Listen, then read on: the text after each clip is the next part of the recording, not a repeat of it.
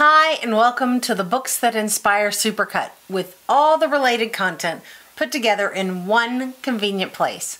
I hope you enjoy, and I hope you stay tuned to the end for a new addition to these lists. I used to have a large quilting book library. My husband might still say I have a large quilting book library, but I like lots of reference information. Over the years, I've culled it down because I realized that the books I really love are the ones that are filled with process information or inspirational stories or people. Very few do I use as actual pattern books. I still have some of those, everything Bonnie Hunter and Edyta Sitar, for example, but most of my now much more curated book collection is rather unconventional, I guess. Today I'm sharing some of my favorite books. Books that inspire me and connect me with new ideas, old ideas, unexpected ideas, and the quilting community at large. The first book on the list oh, is heavy, is Unconventional and Unexpected American Quilts Below the Radar, 1950 to 2000, by Roderick Kiracofe. You guys, this book, oh my goodness, is everything. It's everything I love about a quilt. And it's a reflection of the quilts that I grew up with. As many, if not most, of the quilts are by unknown Southern makers. The photography is beautiful. The quilts are amazing. Oh, that's heavy. Hang on. The quilts are amazing and imperfect and wild. The essays and commentary from people like Kaffe Fassett, Denise Schmidt, Natalie Chanin are deep dives into the soul of a maker. This is what my mind and heart see when I imagine quilt. Expression, creativity, ingenuity, reckless abandon, and connection. If you love an everything but the kitchen sink quilt, you will adore this book. The next book is Southern Quilts by Mary Kerr. If you want to know how I know most of the quilts in the last book are by Southern makers, this is how. Mary is an awesome and talented quilt historian who has called on the expertise of other quilt historians, specifically historians of Southern quilts, to celebrate and explain quilts of the South. This book is filled to the brim with amazing photos and as much actual history of the photographed quilt as is known or can be surmised. There are specific regional characteristics to quilts, and I love to study the nuance of those differences. I'm a total geek, if you couldn't tell.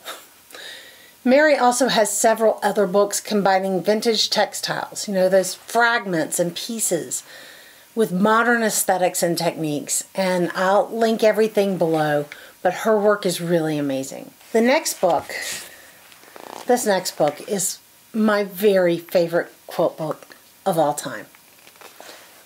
Little Quilts All Through the House. And it's by Alice Berg, Mary Ellen Von Holt, and Sylvia Johnson. My mom bought this for me in 1993, and my original copy, this one, it's falling apart, guys. So I have a backup.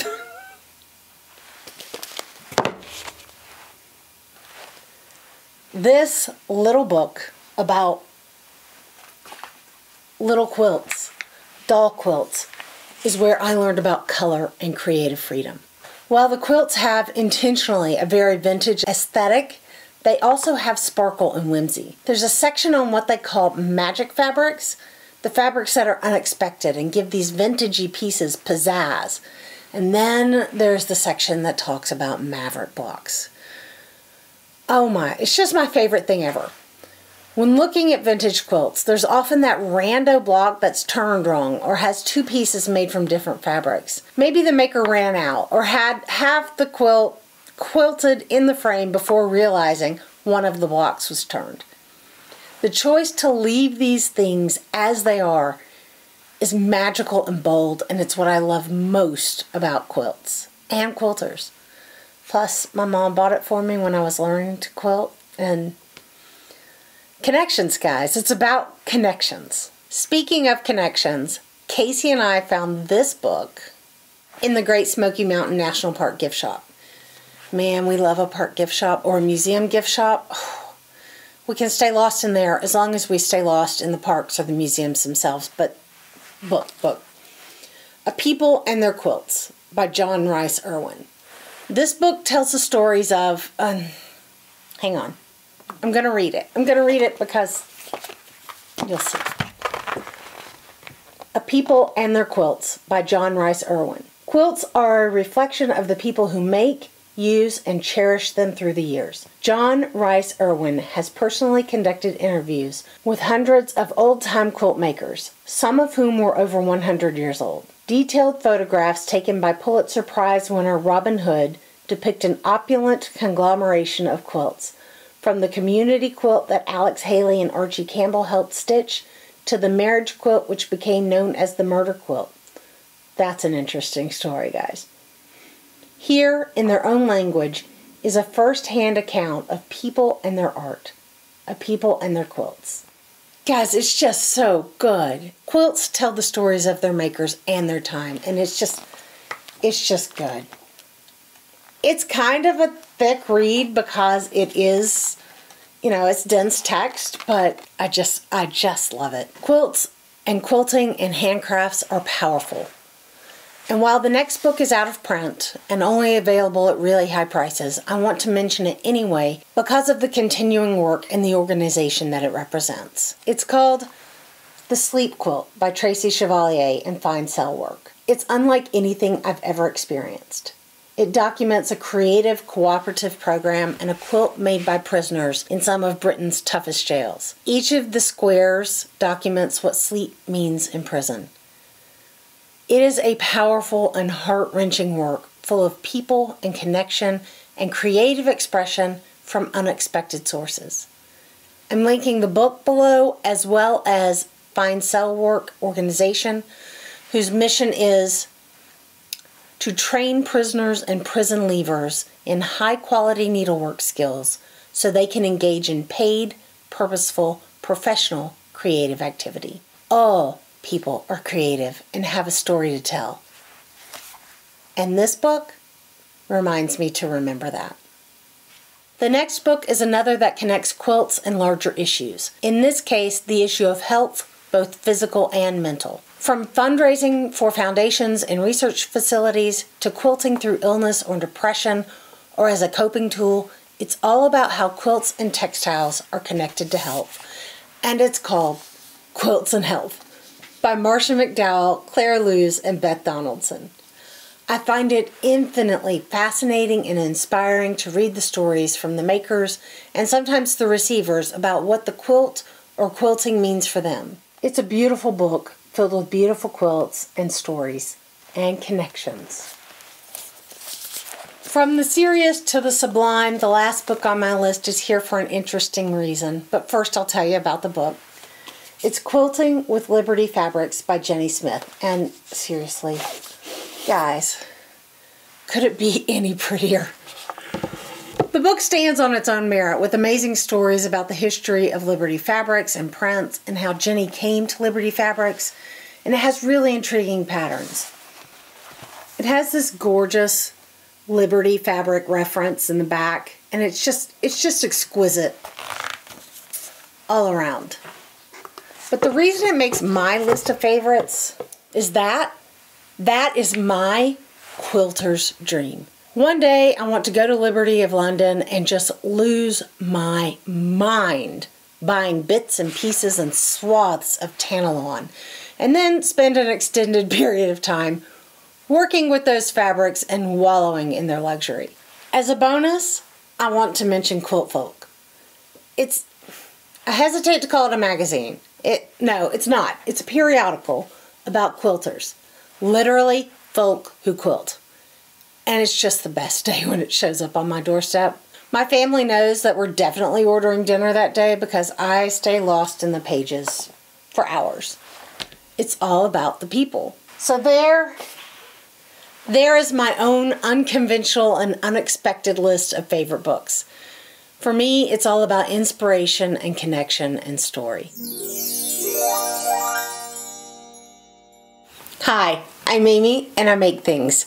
Building on the unconventional theme, today I made a new list of 10 books, plus a bonus at the end, that inspire me to be a better artist, maybe even a better person. Come on, let's see what made the cut. First up is a book called Quilting a Lot with a Little. It's a great little book by an author that's actually local to me here in Texas. She speaks of her journey to and through quilting through many seasons of her life. Her approach is very much like my own, working with the resources you have available time, money, material, skill, and enjoying the process through it all. She gives her version of how she works through a quilt and cites sources for further information as well.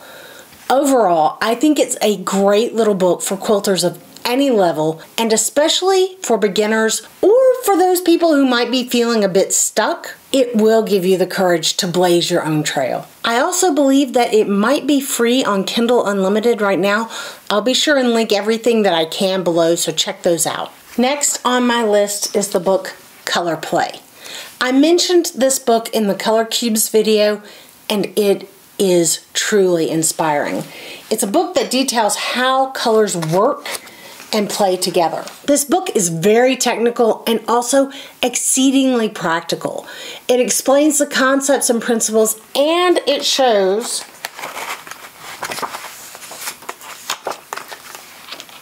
practical examples in fabric and paintings. I've only begun to study the contents, but I know I will come back to that again and again as a resource. Next, we have Bisa Butler portraits. I mean, come on. It is just so beautiful. Bisa Butler is an artist doing incredible work, not only in the art form itself, but also in the message and the reach. There is so much to say and so much more that needs to be seen and said and recognized and shared and felt. My sister in law was recently in a museum in DC and sent me this photograph. I was thrilled that Elizabeth got to see this work in person and inspired, and then extraordinarily excited at the idea of being able to plan my own walking trip to Washington, D.C. in the near future. Until now, it hadn't been possible. Next, we have Fabric of a Nation. Again, Bisa Butler on the cover. This, this is the museum book that accompanied an exhibit at MFA in Boston, one of my very favorite places on earth. We were not able to attend, but my friend Tara Miller did. She visited and has a beautiful video about the Harriet Powers quilts. I'll be certain to link that in the description box. I looked through this book and I am in complete awe. I feel inspired, connected, and overwhelmed by the work and the stories and the lives contained within the quilts in these pages. You know me, it's all about story. Taking a different turn for inspiration, next we have Nancy Crow. Nancy Crow is one of my role models. Her ability to play and explore and expand an idea is fascinating to me. Let me find my page marker. This book also, this book, guys, this book is beautiful. I checked it out from the library and it was one of those where Casey's like, um, why don't you own that book? So, you know, off I go to my Amazon used books listings. Look, guys, look. It's just incredible. So now I have a copy of my own. But this book is this book inspires me to work differently. I'm often moving fast and always on to the next project or idea. The thought of sitting with one idea and really doing a deep dive into that to squeeze all there is out of variations of that, squeeze all there is to learn, it really sparks my curiosity. This is not naturally how I think or work, so I'm very interested in interest, so I'm very interested in seeing how these methods and ideas might inform and change my process and results. I've already got ideas brewing and my mind is reeling with possibilities. Do you do that? Do you work that way? Do you take an idea and really dig in and explore all the possibilities? Let me know in the comments below and don't forget to smash that like button while you're down there. Next, similar, very similar, variations on a theme here, A Common Thread by Gwen Marston. I mean, it's Gwen Marston. What else is there to say? This is another one where one idea, take log cabins for instance, is explored and flows into the next and the next.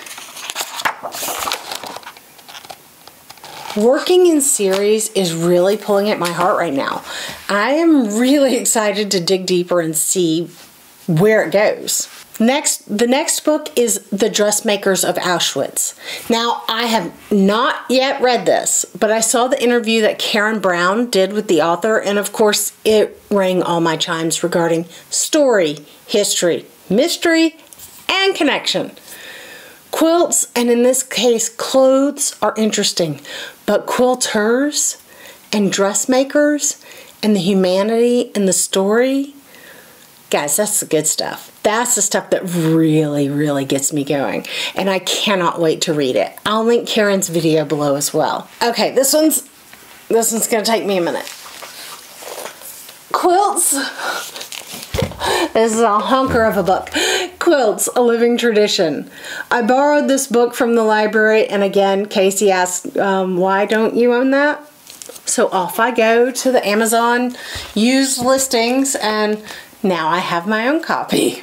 But again, this book shows everything in American quilting tradition. And it has as much information as possible. I mean, it ranges from the very traditional to the very contemporary or, you know, modern. I hate that word, but less traditional quilts from other cultures, the Hawaiian quilting tradition, Native American quilts, Amish quilts, and then contemporary art quilts. It is a treasure trove, and I'll link any that I can on the used market below because you know you're gonna have to find a place to store it because it's ginormous, but it is incredible. And finally, I have two books the Freddy and Gwen collaborative books. Gwen Marston and Freddy Moran. Two people who I, I can't say enough good things about. But these books, these books are just, they're great. Again, they're used. I buy, bought used copies. Sometimes you can find them for a good deal. Sometimes they're a little spendy. But they're just Guys, they're just full of color and joy and inspiration and working together. Working, two people with very different sort of ideas coming together, and that is freeing. That is inspiring. Like I say, they are filled with joy. I'm always motivated by two very different artists, aesthetics, blending and becoming just so much more than the sum of their parts. I'm also incredibly interested in the working habits and process of collaboration. I like to know how it all comes together and how two artists communicate and cooperate. I find that I find that infinitely fascinating. Now, I promised you a bonus book, and this is one that was recommended to me in the last book, excuse me, this is one that was recommended to me in the last book video, and of course I bought it used. This is called Quilts and Coverlets, and let me get the author name for you, by Jean Ray Laury. Now, guys, it's Quilts and Coverlets, a contemporary approach. Guys, this book, this book is copyright 1970. And it is filled, now mostly it's black and white pictures, but it is filled with very modern, told you I hate that word, quilts. You know, everyone says, oh, I'm a this quilter, I'm a that quilter, I'm a... Guys, there's room for everyone. Here's a color picture. And there's room for everyone and there's nothing new under the sun, but there is your unique voice, your unique color palette, your unique eye and way of putting things together. And that, that is what's exciting. And I just find it interesting that there are all of these quilts and quilting ideas that are not new, but that are still relevant. So there it is. A quick list of 10, well, 11, 11 books that inspire and delight me right now. Mostly they inspire me to work differently and dig deeper. I am continually awed and inspired by books and the stories of quilters. One book that is capturing my interest right now the Improv Handbook for Modern Quilters by Sherri Lynn Wood. Sherri Lynn is such a free spirit and a great hand holder for anyone new to working without a fixed pattern. You can check out this and the other books mentioned in the links below, and I do hope you'll share what books inspire you. I also hope you never forget that you make the world more beautiful just by being in it. For more inspiration, check out this video. I'm Amy, and I'll see you next time.